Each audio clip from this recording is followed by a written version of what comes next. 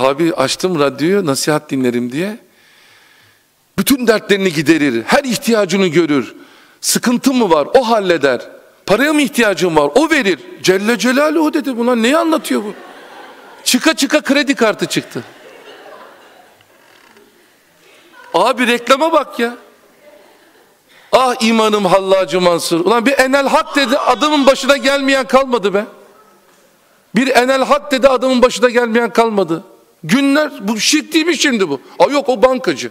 Namussuz. Adama bak. Her ihtiyacını görür, her derdini görür. Bir şey mi ihtiyacın var?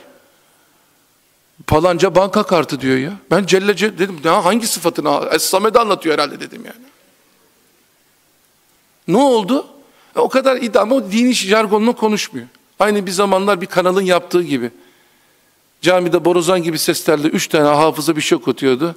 Şey, oldu? Bir yanına bir ney falan haram. Bitiyordu program. Kadın programı başlıyordu. Kadın dans ediyordu. Ne? O din ayrıymış, o ayrıymış.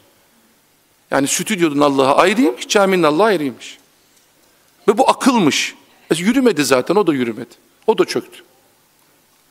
Ne kadar akıl, ne zaman akıllanacak? Tam nesil akıllanıyor, ölüyor.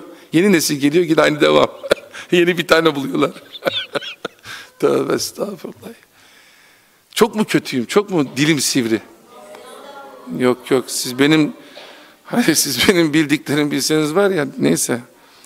Allah'ın rahmetini görmek istiyorsanız, faziletini görmek istiyorsanız bana bakın.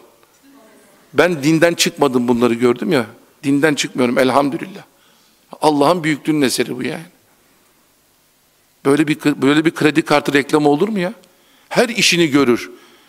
Onda, ne istersen yapar. Ne? Hazreti Ömer kafasını vurur, kellesini alırdı böyle adam konuşsa.